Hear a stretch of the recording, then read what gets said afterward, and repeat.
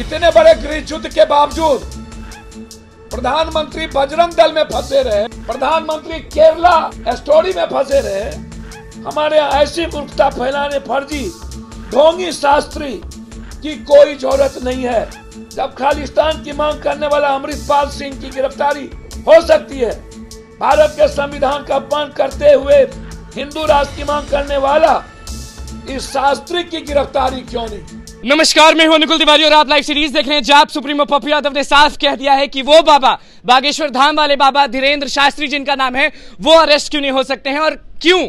The Kerala story Bajrang Dal में नरेंद्र मोदी प्रधानमंत्री व्यस्त रहते हैं। क्या कुछ कह रहे हैं जाप सुप्रीमो पप्पू यादव? आप वो सुनिए। चौवन सौ मर्डर के बाद, दुनिया में पहला व्यक्ति मैंने देखा सौ मर्डर के बाद एक विधायक की हत्या जो उन्हीं के पार्टी की थी। उन्हीं की पार्टी की। और बिहारी वहाँ सुरक्षित नहीं है। लगातार मारे जा रहे हैं। इससे बड़ा हिंसा हिंदुस्तान में शायद मुश्किल से मैंने सुना होगा। जम्मू कश्मीर को छोड़ दूँ और पंजाब के हालात को छोड़ दूँ तो। और एक बार भी देश के पीएम ने एक ट्वीट नहीं किया, संवेदना व्यक्त नहीं की। क्या वो सिर्फ़ कर्नाटक के प्रधानमंत्री बन गए हैं? क्या एक पूर्णकालिक प्रधानमंत्री की ज़रूरत इस हिंदुस्तान को है? ये अर्धकालिक प्रधानमंत्री है।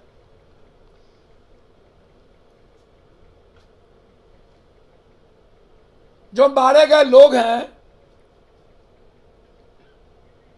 क्या वो मंगल ग्रह पर है? क्या वो भारत में नहीं है? क्या वो 140 करोड़ में से नहीं है? इतने बड़े गृह युद्ध के बावजूद प्रधानमंत्री बजरंग दल में फंसे रहे। प्रधानमंत्री केरला स्टोरी में फंसे रहे। बाप रे बाप।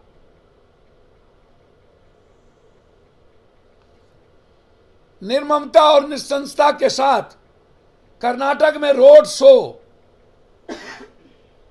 इस देश के लिए इससे बड़ा दुर्भाग्य कुछ नहीं हो सकता।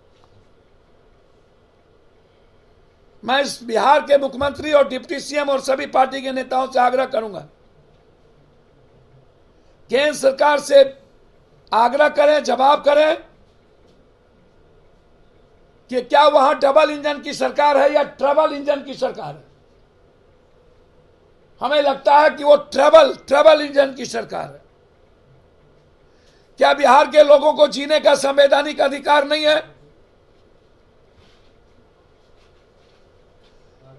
और क्या उसकी रक्षा में सक्षम है या नहीं? प्रधानमंत्री से जानना चाहेंगे। पहले आपने हिंदुस्तान में जब 2014 के बाद नहीं चल रहे थे तो पुलवामा हुआ। पुलवामा में आने के बाद आपने एक पिक्चर बनाई। उस पिक्चर का नाम था एक्सीडेंटल प्राइम मिनिस्टर उसके बाद दूसरा पिक्चर आपने बनाया जिसका नाम था महानायक नरेंद्र मोदी। उसके बाद जब उससे भी आप सक्सेस नहीं हुए, तब बनाए कश्मीर फ़ाइल जब उसमें भी आप नफरत पैदा करने में चूक गए, तब आपने बनाया, शुरू किया भजरंग दल, जो सबसे बड़े बलात्कारी आदमी ने जिसको बनाया था।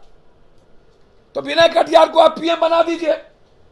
यदि बजरंग दल के नाम पर वोट लेंगे भगवान के नाम पर चुनाव आयोग अंधा हो चुका है, काना बहरा कानून कहता है कि भगवान के नाम पर, धर्म के नाम पर वोट नहीं मांगा जा सकता। बहरा और वो अब केरला स्टोरी और फिर बजरंग दल। एक बार भी नफरत के अलावे दूसरी बात नहीं। तब भी वो खत्म हो चुके कर्नाटक में। अब उनके पास ऐसे ही बाबा का सहारा है। मैं